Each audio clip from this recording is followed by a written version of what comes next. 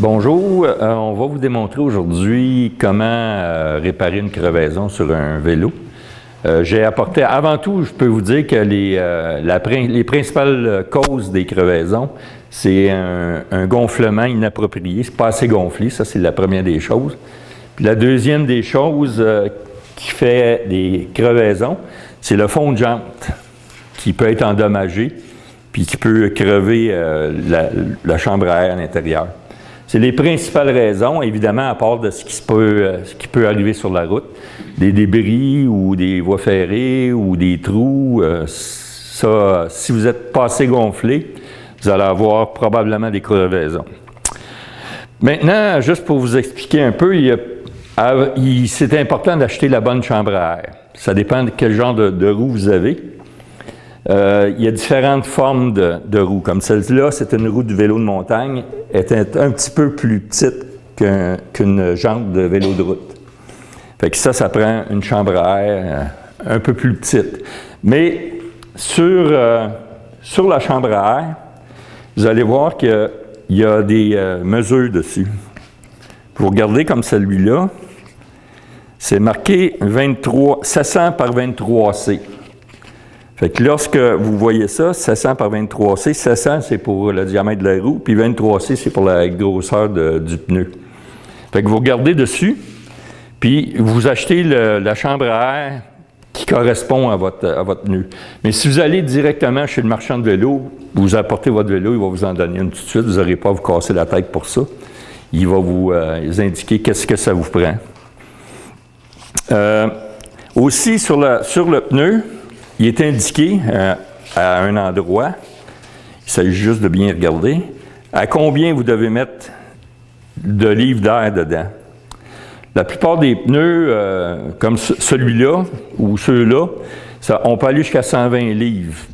Dépendamment de, la, configuration de la route.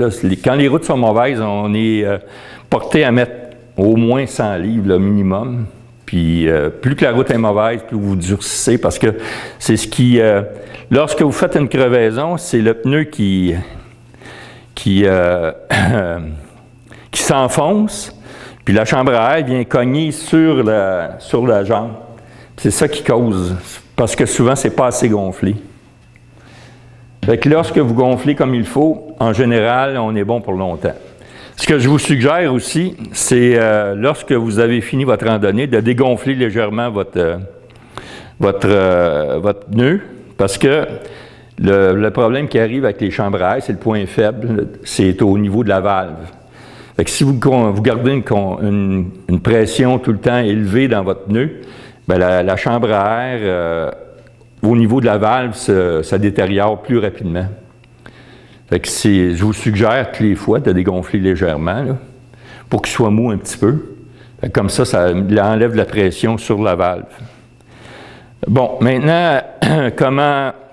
il y a- pour les outils, pour changer une crevaison, vous en avez beaucoup, il, y en, a beaucoup différents. Vous avez euh, des modèles comme celui-là. Vous avez euh, des modèles comme ceux-là aussi. On va vous montrer comment ça fonctionne. Puis, pour les pneus qui sont vraiment durs à enlever, qui n'est pas recommandé, vous avez des clés en métal. Mais ça, euh, c'est dangereux de travailler avec ça. Vous pouvez faire une crevaison juste à, essayer de l'enlever. Comme moi, mon pneu commence à être usé à l'arrière, fait que euh, ça va être la bonne occasion de l'enlever puis de le mettre à l'avant à la place. Je vais prendre celui de l'avant, puis je vais le mettre à l'arrière. Pourquoi? Parce que vous prenez, à peu près la durée de vie d'un pneu, c'est deux à l'arrière pour un à l'avant. Vous changez deux fois plus souvent les pneus arrière que le pneu avant. Fait que là, le mien commence à être usé pas mal, fait que je vais le, changer de place. Euh, comme ce vélo-là, mais c'est un vélo de compétition. Mais la majorité des, des vélos maintenant, ils ont des euh, quick release qu'on appelle comme ça ici. Fait que ça, c'est relativement facile à démonter. Puis euh, c'est rapide, puis ça tient vraiment bien votre, votre euh, roue en place. On va, je vais vous montrer. Pour enlever le, quick release, vous l'abaissez. Vous dévissez légèrement. La roue sort. Ah, mais auparavant, c'est vrai que je vais vous expliquer qu'avant d'enlever la roue, ce qui serait préférable de faire, c'est d'écarter les mâchoires des freins. Comme moi, sur mon vélo, ben, j'ai un petit bouton ici pour, euh, pour l'écarter. Mais sur les vélos normaux, qui ne sont pas de compétition, comme le vélo qu'on a ici, c'est euh, des... Lui, c'est un frein à disque. Ça, c'est un petit peu plus compliqué aussi. Quand on voit, c'est un frein à disque. Là, on n'a pas de, de, vélo, par exemple, avec des, euh, des... La plupart des vélos maintenant, c'est avec des... Euh, comment est-ce qu'on appelle ça? des, comme les vélos de montagne auparavant. C'est un câble qu'on enlevait, puis c'est relativement facile à, à démonter. Si on regarde, on va continuer avec celui-là. Aussi, si vous avez à démonter la roue arrière, ce que je vous suggère de faire, c'est toujours prendre, de changer les vitesses, puis de la mettre sur la plus petite guire à l'arrière, tout le temps. c'est plus facile à remettre auparavant. Fait que vous descendez les vitesses pour le mettre sur la plus petite guire. On, a, on descend les vitesses. Qui se retrouve sur la dernière guille. Je prends mon. J'écarte ma mâchoire de frein. Moi, j'ai un petit bouton ici, là, mais c'est euh, pas tout le monde qui a ça, là, mais ça écarte mon, mon frein à l'arrière. Fait que là, c'est plus facile enlever la roue. Pour enlever la roue, ben, c'est très simple. On lève, avec la main gauche, on tient la, roue, le, haut banc ici. On pousse vers le bas. La chaîne se retrouve entre les, entre les deux la, voyons, la chaîne se retrouve euh, à, se démonter facilement de, la roue. On enlève la roue. Si vous êtes seul, ben, ce que je vous suggère, c'est de prendre le vélo, de l'accoter sur un mur, de cette façon-là. Si vous enlevez la roue avant.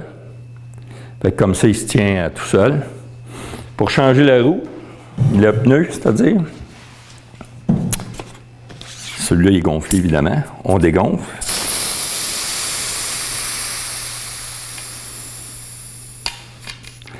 Puis une fois qu'il est complètement dégonflé, on pousse la valve à l'intérieur un peu pour être sûr qu'elle n'est pas coincée. Et on, décolle le pneu un peu de la jante. On décolle la jante. On prend une clé, préférablement en plastique. Il y en a plusieurs modèles. Celle-là, l'avantage qu'elle a, c'est qu'il y a une, petite, euh, espèce de petite coche qu'on peut glisser. La valve est en bas. On prend à l'opposé. On glisse la clé à l'intérieur. On soulève. Celui-là, l'avantage qu'il a, c'est qu'on peut la, mettre, l'accrocher après un rayon. On en reprend une autre. En général, deux, c'est suffisant. 3, euh, c'est bon aussi. Là. On fait la même chose, on glisse à l'intérieur.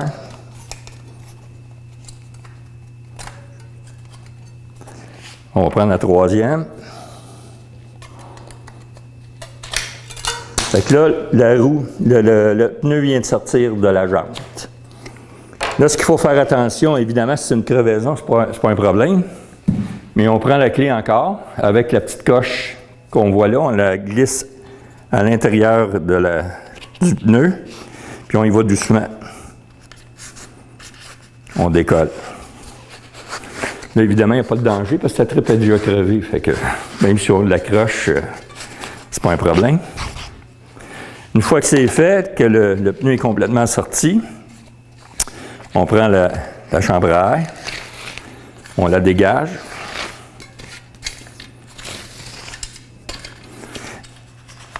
Ensuite, on enlève la valve.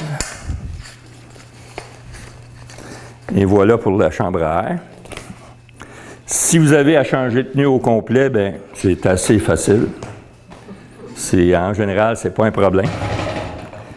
Et voilà la roue. Comme celle-là, ben, elle a un, fond de jante qui est, euh, qui est bien, bien propre.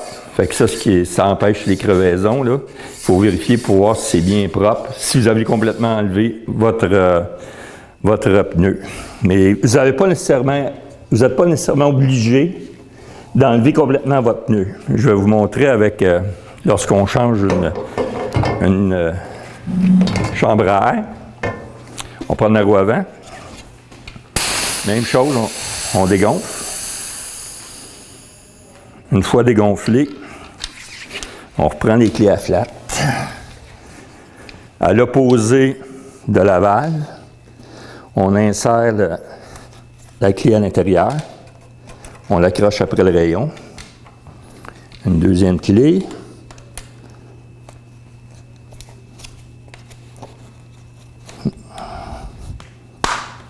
Encore une fois après le rayon.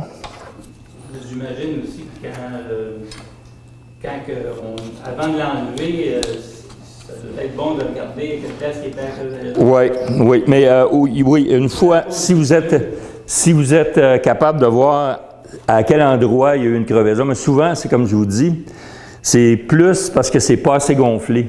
Ça, quand c'est pas assez gonflé, on ne peut pas voir de l'extérieur. Mais c'est certain que s'il y, a un objet qui est rentré dans votre, dans votre pneu, là, on peut avoir des problèmes. Souvent, même, il peut y avoir un trou. Et là, à ce moment-là, on peut trouver des morceaux de carton, n'importe quoi, qu'on peut glisser à l'intérieur pour euh, faire une patch temporaire pour pouvoir continuer. Si vous avez des questions, hein, gênez-vous pas, là.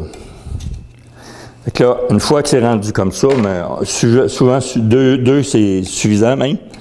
On peut glisser la clé à l'intérieur. Et on enlève la clé, on glisse. Il est dur celui-là. Ça dépend des pneus. Il y en a qui sont plus durs que d'autres. S'agit d'y aller. euh, Celui-là, il est moins usé que l'autre. C'est pour ça qu'il est plus raide un peu. En fait, il ne faut pas être trop pressé. Puis lui, vu qu'il n'y a pas beaucoup de rayons, j'ai pas autant d'espace pour pouvoir l'accrocher. Bon, une fois que c'est enlevé, prendre la troisième. On y va doucement.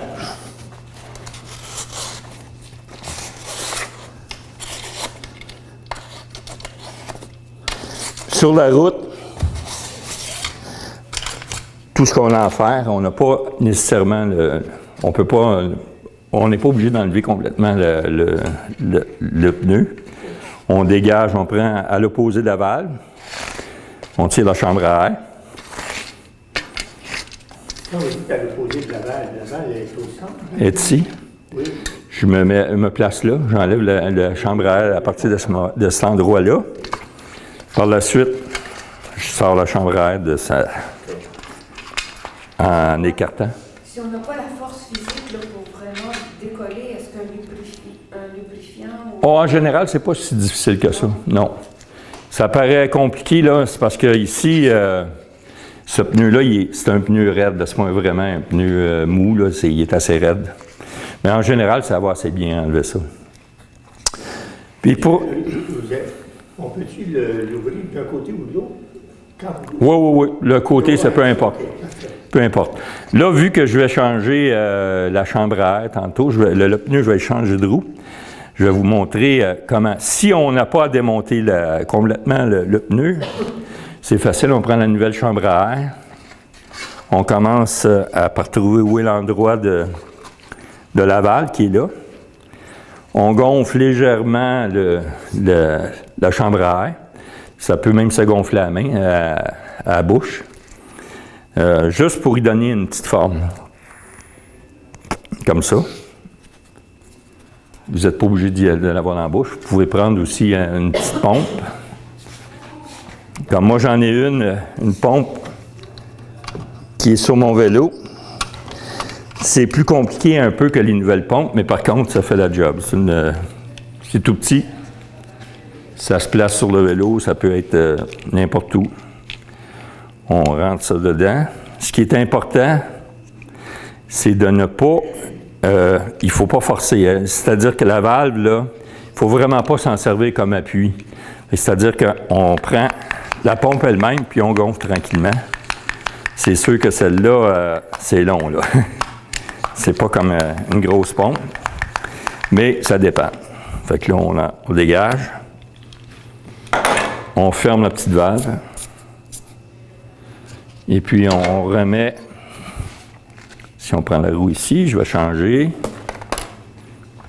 On va prendre mon autre roue. On va changer le pneu complètement.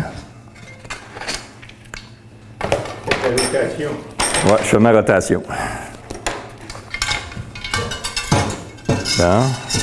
OK. Puis ça, je le mets comme ça. On remet le pneu dessus, la jante.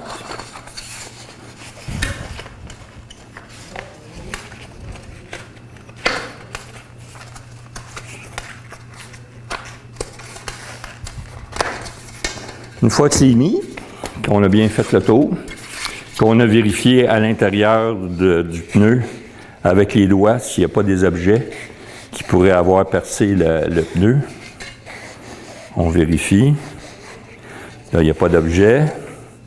À l'intérieur de la jante, il n'y a rien non plus, il n'est pas brisé. À ce moment-là, on reprend notre, notre euh, chambre à air qu'on vient de gonfler légèrement. On trouve l'endroit où est la valve,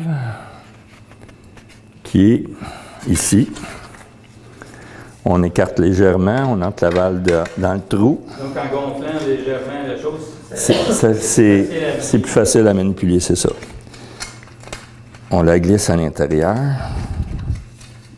Doucement, parce que la, valve, c'est toujours un peu le problème, moi. C'est ça, la, valve, c'est toujours un peu le problème, le, point faible d'une chambre à air. Là, on la glisse à l'intérieur, on s'assure qu'elle est bien alignée. Il ne faut pas qu'elle soit croche, la valve. Il faut vraiment qu'elle soit perpendiculaire à, à la jambe. On entre la chambre à air à l'intérieur.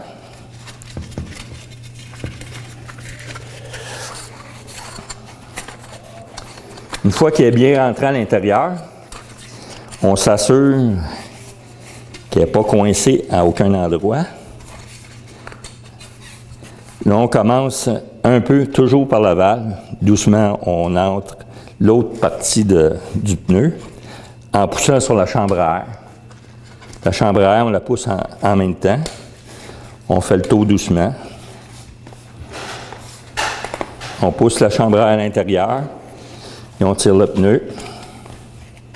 Pousse la chambre, on tire le pneu.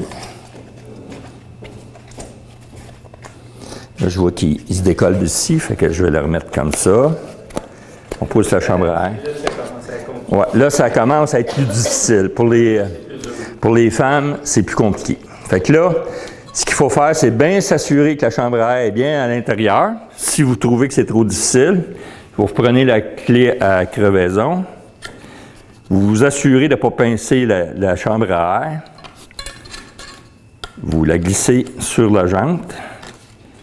Vous levez le pneu. On va prendre un autre. On s'assure toujours que la chambre à air n'est pas coincée. On remet l'autre encore. Il faut y aller doucement, on n'est pas pressé. Ensuite, on continue. Doucement. En retenant pas qu'elle sorte de l'autre côté. Le, truc, c'est de ne pas coincer la chambre à air. Puis une fois qu'on a fait ça, on s'assure que la valve est bien droite, pas qu'elle soit croche. On pousse la valve vers l'intérieur pour être certain qu'elle n'est pas coincée par, entre le pneu et, euh, et la jante. On la pousse à l'intérieur un peu. C'est beau. Fait que là, on fait le tour. Oui? si elle est il faut recommencer au complet. Euh, ben, c'est quand on la remet, le- la, la- la chambre à air, il faut s'assurer qu'elle est bien droite. Quand on s'assure qu'elle est bien droite, il n'y a pas de problème. Si elle croche, c'est sûr que vous allez avoir du trouble. Ouais, c'est ça, vous allez avoir du trouble euh, au niveau de la chambre à air à un moment donné. C'est là qu'il va devenir le problème. le point faible de la chambre à air, c'est toujours la valve. Fait que là, on regarde tranquillement pour être certain que la tripe n'est pas pincée. On regarde, on pousse légèrement le, le pneu, on regarde tout le tour, on fait tout le tour.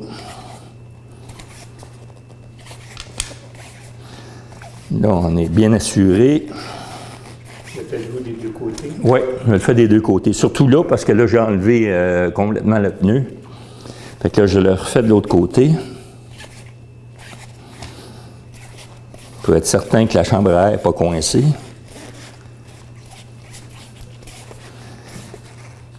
Et puis on gonfle. Pour gonfler, ben idéalement, c'est certain que c'est une grosse pompe qui est l'idéal. Ou cette petite pompe-là, qui nécessite euh, aucun outil, facile à utiliser. Puis on peut donner jusqu'à 120 livres de pression, euh, c'est pas de problème avec ça. Sauf qu'il ne faut pas être patient parce que c'est long. c'est long. Que C'est pour ça que je vais utiliser plutôt la, grosse pompe. Sur, sur ce nœud-là, c'est marqué qu'on peut mettre jusqu'à 120 livres de pression. Fait que je vais mettre 120 livres. Avec les routes au Québec, euh, on est mieux de mettre pas, probablement plus près du maximum que passé. On dévisse un petit peu le- la valve. On, s'assure que la valve n'est pas coincée. On pousse avec le pouce la valve vers l'extérieur. On pousse la valve vers l'extérieur. On entre la pompe. Et maintenant, je peux gonfler.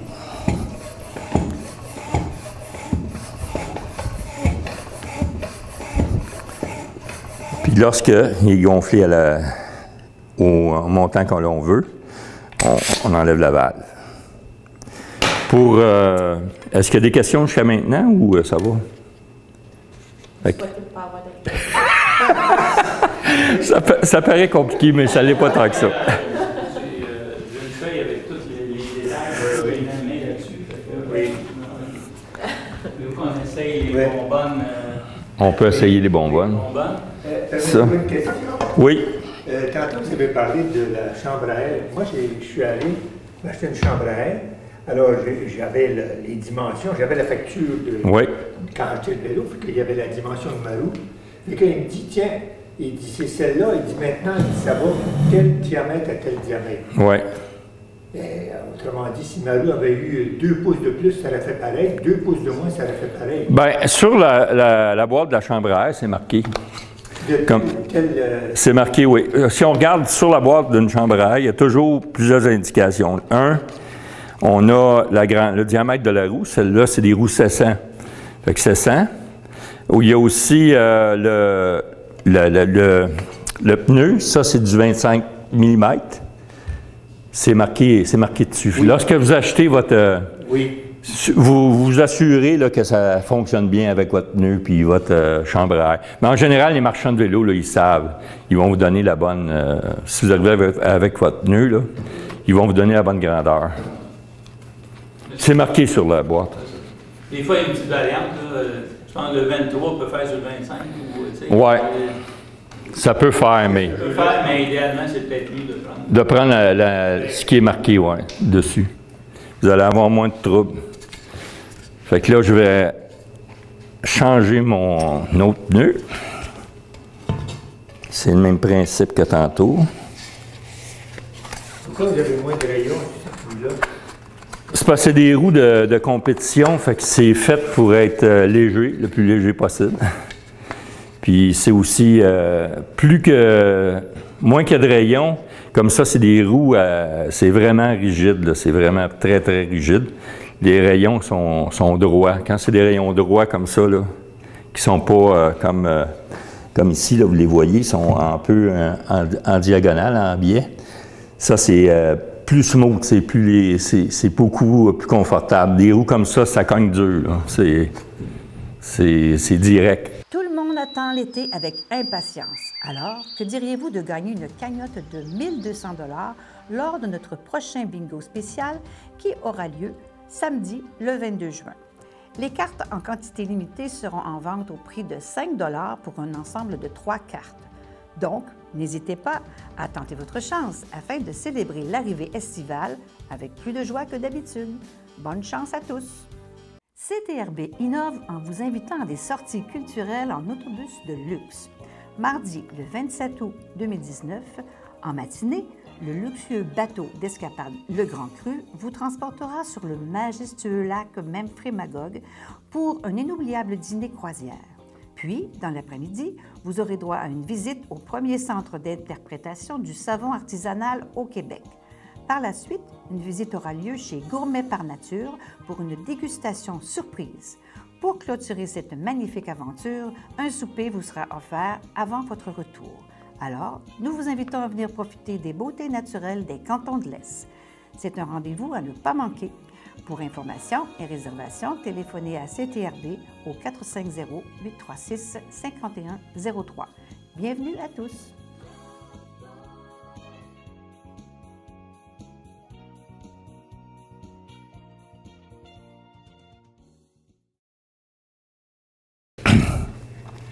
Aussi, ce que je vous suggère, quand vous avez euh, un étui pour mettre les, chambres à air, un petit, coffre comme ça, c'est pas tellement dispendieux, c'est tout petit, ça peut contenir, moi ça contient tout ce que j'ai besoin.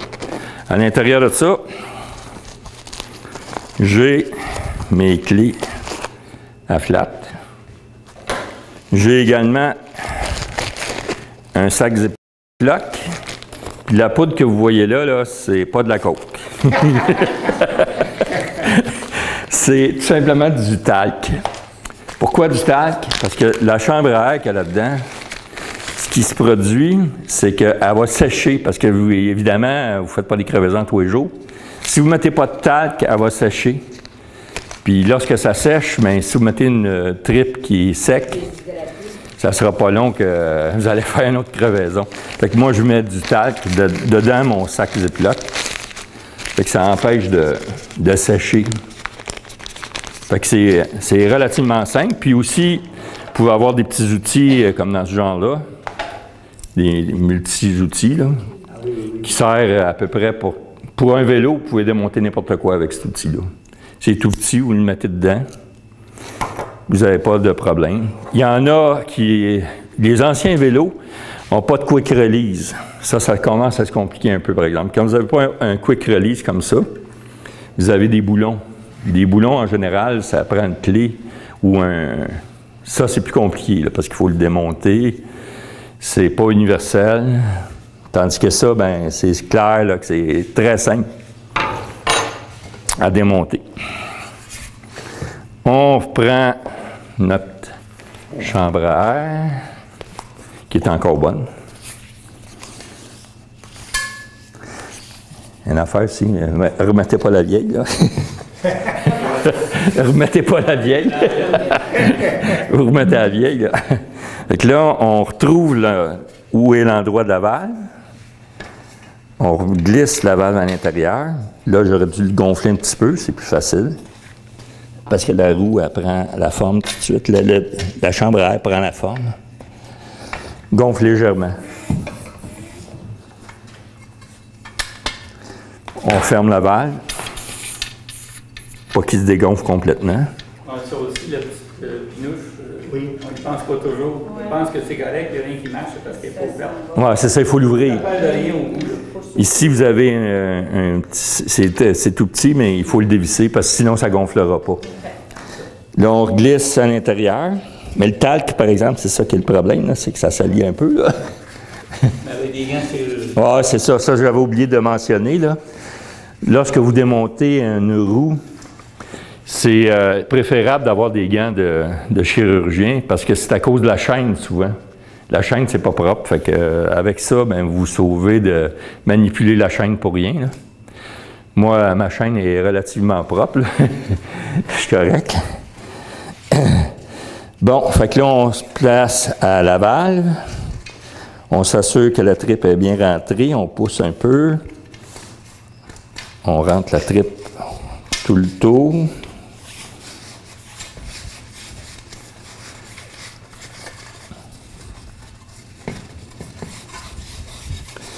Que ça, c'est certain que souvent, les tripes, euh, ils rentrent pas nécessairement comme il faut dès le premier coup. Fait qu'on commence à, à la rentrer un peu, on la pousse, on rentre le pneu en même temps.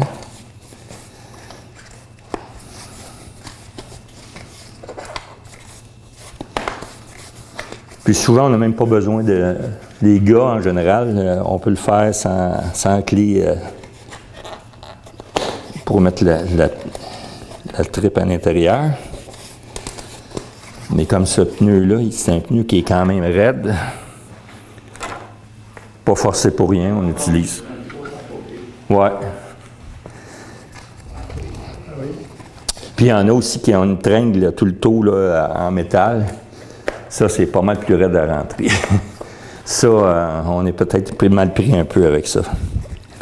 Mais là, comme celle-là, c'est relativement simple. On y va doucement. On s'assure de ne pas coincer la chambre à air. On lève. Là, évidemment, il veut sortir de là, fait qu'il faut le retenir un petit peu. Fais attention pas coincer la chambre à air. Souvent, le problème vient aussi de coincer la chambre à air avec la flat. C'est ça, là. Puis là, vous faites une autre crevaison. C'est là qu'est le, le problème. Fait qu'on s'assure que la valve est bien droite. On pousse la valve vers l'intérieur pour être sûr qu'elle n'est pas coincée. Et on regarde, on fait le tour encore pour euh, s'assurer que la chambre à air n'est pas entre le pneu et euh, la jante. Évidemment, auparavant, mais on regarde tout le temps si on ne voit pas quelque chose qui est planté dans le, le pneu ou encore quelque chose qui dépasse par l'intérieur. Causer d'autres. d'autres- Un autre crevaison. Dans ce cas-là aussi, il y en a qui se gardent des bouts de trip. Oui, des bouts de trip où Puis, on si glisse, Il y a un trou après le, le- le pneu. On le glisse à l'intérieur. Ah oui, ah oui, il faut, il faut Comme ça, ben, Ou euh, être mal pris, on prend un bout de carton, euh, n'importe quoi, là, puis on le glisse entre la- le pneu et la chambre à air. Au moins, ça bouche le trou pour euh, se dépanner, là, parce que ça, ça arrive des fois que la- la- le pneu est usé, puis là, ben, euh, à ce moment-là, ben, on a un des problèmes avec ça. Mais en général, euh, un pneu, c'est bon. C'est comme je vous dis, c'est bon à peu près deux pour un. Deux pneus arrière pour un pneu avant. Comme dans mon cas, euh, ouais, ça dépend. Ça dépend de. Plus qu'il y a de la haute pression, probablement moins que ça va durer longtemps. hein. Mais euh, moi, ça dépend du poids de la personne aussi. Comme dans mon cas, euh, faut faire attention. que là, on fait le tour pour s'assurer. Et votre petit carton que vous pourriez mettre là, si votre pneu Ouais. il est perforé, ça c'est à condition que la chambre à air soit bonne. Oui, c'est ça. Quand on change la, la chambre à air, puis qu'on voit qu'il y a un trou, Oui, un gros, un bon trou. oui, pour protéger la chambre à air là. C'est ça. Parce que sinon, la chambre à air neuve va vouloir sortir par le trou. C'est des fois, c'est pas, euh, ça prend juste un petit trou de rien. Puis, euh, ben, de rien, c'est quand même assez gros. Puis la chambre à air sort légèrement du pneu. Fait que là, c'est certain que si vous roulez là-dessus, euh, vous avez des bonnes chances de refaire une autre crevaison, ce sera pas long. Ouais, tu peux, te- tu peux toujours essayer. Moi, j'ai jamais utilisé. là-dessus. j'ai jamais utilisé ça. ça ne fonctionne pas, mais absolument, ça, Ouais, c'est ça. l'avantage de, de cet appareil-là, c'est que c'est facile à gonfler, Puis ça prend pas de place. Ça prend pas de place, c'est léger. Sauf que il faut pas vous manquer votre coup. Parce qu'il faut entraîner, euh, faut entraîner deux, parce que ça arrive qu'on manque de coup. Puis ça, ça vient très, très froid. Puis là, la- l'affaire aussi, ce qu'il faut pas oublier, c'est quand on gonfle, c'est de s'assurer que la, la valve est bien à côté, là, pour pas qu'elle rentre à l'intérieur, parce que là, c'est sûr que vous allez manquer votre coup. Puis s'assurer aussi que le, le petit bouchon est dévissé, parce que là, si vous essayez de gonfler avec le bouchon fermé, vous venez de scraper. on vient de scraper. un. Fait que là, on va me démontrer. Là, Là, je le pèse dessus pour être sûr que.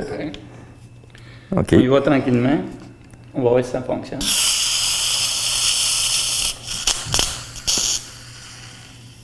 C'est bon. Et voilà. Il devrait normalement. Mais c'est bon pour un coup, ça, c'est le bonbonne là. Fait Et que c'est très froid. Ouais. Ah. Ça, sur le coup, ça surprend, euh, ça vient geler. Ouais, ça gêne. Fait que là, on a bien réussi notre job parce que ça n'a pas, ça a pas crevé. Pour remonter la roue, ça c'est un autre petit problème. Et je vous conseille d'avoir des gants. C'est des gants de- qu'on trouve à peu près n'importe où, dans les pharmacies ou n'importe quoi. N'importe où. Vous mettez ça parce que ça, ça vaut à peine d'entraîner dans votre. euh, parce que des, des- de la graisse de bicycle sur une battante, c'est pas tellement bon au goût. Est-ce que le, le vélo pourrait être mis carrément à l'envers? Ouais, ben, oui et non. Souvent, euh, moi, j'aime mieux le, le mettre comme ça parce que c'est à l'envers, euh, c'est toujours un peu. euh, souvent, il peut y avoir des câbles qui sont là, qui empêchent. Fait que moi, j'aime mieux, j'aime mieux comme ça, mais ça, ça dépend des goûts. Évidemment, là, on est, la chaîne est en position la plus, sur la guerre la plus petite. On prend toujours avec la main gauche, là au banc. Et puis, on, Ouais, les oui, freins aussi ont été. euh, les freins ont été dégagés pour pouvoir laisser. Parce qu'une fois que le pneu est gonflé, souvent, ça passe pas dans- avec les freins. Il faut vraiment les écarter un peu. On glisse la chaîne entre le haut et le bas du pignon, en tenant le dérailleur. On abaisse le dérailleur doucement. Puis une fois qu'on est rendu, on s'assure que les freins, c'est bien rentré sur les freins. Et on tire la roue vers le haut. Là, moi, j'ai. Mon problème, c'est que ma roue, euh, ma chaîne. euh, bon, OK. Une fois que c'est rentré, il s'agit de bien rentrer bien au fond. Voyons. Bon. Bien au fond, parce que ça aligne la roue. Quand vous la rentrez bien au fond de, la cavité, la roue se trouve alignée automatiquement. Vous revissez légèrement. Quand on regarde ici, comment savoir si c'est assez vissé ou pas? On visse avec la manette à l'horizontale. Puis quand on voit que ça commence à être dur, en général, c'est parfait, c'est la tension parfaite. Fait que là, il commence à être un petit peu trop raide. Fait qu'on le relève. C'est un petit peu trop dur. Et voilà pour la roue arrière. C'est, en, en fait, c'est relativement simple. Pour le démonter, je vais vous le refaire, mais... Mais là, la chaîne est débarquée. Ouais, ben débarquer, mais euh, c'est facile à rembarquer. On va vous montrer comment. Là, Là, une fois que vous voulez l'enlever, on, descend, on détend ça, on donne un coup sur la roue, ça tombe tout seul. Vous voyez la chaîne où est-ce qu'elle est? Le pignon est toujours entre les deux chaînes. Fait que vous la remettez sur la dernière. Vous tenez votre dérailleur, vous assurez que ça passe en haut pour les freins et vous remettez euh, la pression qu'il faut. Pour rembarquer la chaîne, ben, c'est relativement facile aussi. Vous reprenez votre roue, votre, votre auban, puis vous avez qu'à à repédaler. Et normalement, la chaîne rembarque seule. Puis c'est pratique parce que pour l'avant, c'est un peu le même principe. En général, le- le quick release est toujours du côté opposé du haut dérailleur. Quand on regarde ici, le quick release, c'est ça ici, toujours à l'opposé du, du côté du dérailleur. On avait desserré les freins. Si quelqu'un ne le faisait pas, C'est pas grave pour la roue avant. eh oui, c'est plus esthétique comme ça. C'est ça. Puis ici, bien, évidemment, on s'assure que les freins n'ont pas été désajustés. Si vous n'avez pas desserré les mâchoires des freins, il se pourrait que votre frein soit désajusté puis que vous aviez. Vous allez trouver que votre vélo est difficile euh, à, à rouler un peu. Tout tout d'un coup, euh, ça devient plus forçant. Fait que c'était assez important de desserrer les, euh, les freins. Moi, c'est facile parce que j'ai des petits boutons, là. Je resserre mes freins. Mais la majorité des vélos, euh, c'est des câbles ici qu'il faut enlever. Il faut défaire le câble. Il faut défaire le câble. Mais là, j'en ai pas de vélo pour ça. là. Parce qu'il ne faut pas séparer ça manuellement. Ben, c'est parce que vous allez désajuster les freins. Quand on désajuste les freins, tout à coup, le vélo devient dur à rouler. Pour ça, Ensuite, ben, pour un frein, euh, les vélos à frein à disque, ça c'est plus complexe un peu. Ce qui est bien important, les vélos de frein à disque, si on regarde celui-là, c'est euh, maintenant c'est bien populaire, c'est efficace, mais c'est plus un petit peu plus compliqué euh, lorsqu'on vient pour changer le- le- la roue. Les freins à disque, eux autres, on n'a pas besoin de les desserrer, mais il ne faut surtout pas appliquer les freins quand vous démontez la roue. Il ne faut pas faire ça, parce que les mâchoires se referment, puis vous risquez d'avoir des problèmes à remettre la roue ensuite. Là, ce qu'- ce qu'on fait, on enlève encore le quick release, on le baisse.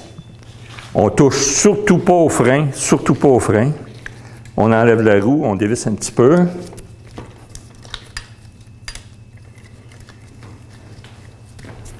Et on glisse doucement. Ouais, c'est ça. Pas tout à fait assez encore. Bon. Encore un peu. Donc, euh, vous ne touchez pas au frein, mais vous n'avez pas besoin de les de les déclencher comme. euh, Non, pas besoin, mais il ne faut pas y toucher. Parce que là, oups, c'est le computer qui part. On enlève la roue. Puis pour la remettre, ben, il faut être euh, gentil un peu. Là. Il faut y aller doucement. On la remet. Et on serre. Mais si vous avez eu le malheur de serrer les mâchoires, ça prend un tournevis pour écarter. Ça commence à être plus compliqué un peu.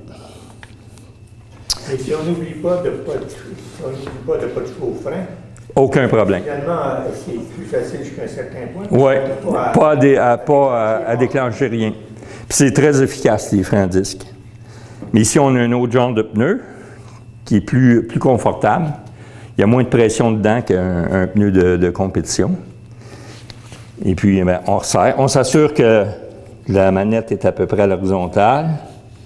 On serre jusqu'à temps que ça soit à peu près, ça commence à être difficile. Et on relève. Voilà. Si on roule, puis la roue s'en va tout seul en avance, Allez avoir un ça n'a trouble. peut-être pas été assez serré. Fait que- la nous. Ah ben j'ai déjà vu à, j'ai déjà vu à des compétitions où euh, justement on n'avait pas assez serré le- le- la roue. Le gars il attaque puis euh, tout à coup euh, la roue s'en va. Il en a pris une méchante, une méchante débat. Ben, Est-ce qu'il y a des questions? En arrière, c'est le même principe. Même principe. Ici, on voit. Ici, ce qu'on peut voir, c'est que là, il est sur la, la grande, euh, la grande roue libre euh, à, à l'arrière. Il faut l'emmener à plus petit. Il faut l'amener à la plus petite. Fait que ici, c'est un autre genre de vitesse, mais c'est le même principe. On l'amène au plus petit. On tourne la roue. On touche pas au frein. Toujours la même consigne, pas de chauffe. touche pas au frein. on, dé- on dessert. Et puis, on lève un peu. On desserre un peu. Dans le fond, si on veut tout éviter ce domaine-là, tu vérifier ta chambre à. Oui, c'est. euh, la majorité des crevaisons, c'est dû à un mauvais, un sous-gonflement. Il faut gonfler comme il faut. Si on gonfle comme il faut, moi, ce que je vous suggère, moi, ce que je fais, c'est que je dégonfle à toutes les fois, mais pas complètement. Juste pour dire d'enlever de la pression, parce que sinon, votre chambre à air va. euh, va Oui, ben c'est ben, parce que le point faible, c'est la chambre à air. Euh, pas la chambre à c'est-à-dire la valve. Si vous conservez toujours de la pression, ben c'est là que ça va. Vous allez avoir un problème là, là souvent. Vous enlevez la roue. Même chose, vous regardez, la chaîne est toujours entre les. Entre les euh, le pignon est toujours entre les deux chaînes. Vous enlevez la roue. C'est la même chose. C'est là qu'ils pratiquent les gants. Oups. Et on remet la roue. Ça, c'est un petit peu plus. euh, Oups, c'est quoi ça? On remet ça. Entre les deux, on abaisse tranquillement. On s'assure que c'est bien dans le fond.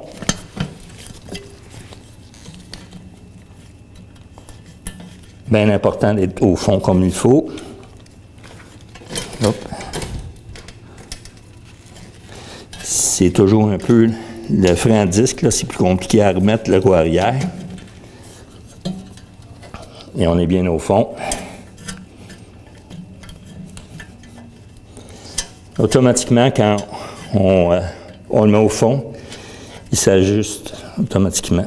La roue est centrée. Idéalement, c'est mieux de le faire à deux parce que c'est euh, plus facile. là. Mais en compétition, je peux vous dire que ça prend entre 10 et 20 secondes de changer une roue puis repartir.